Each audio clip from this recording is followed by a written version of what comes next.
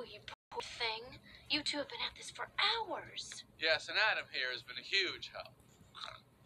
Frosting, frosting. How many sugars? Just one. I try not to use the competition. Ooh.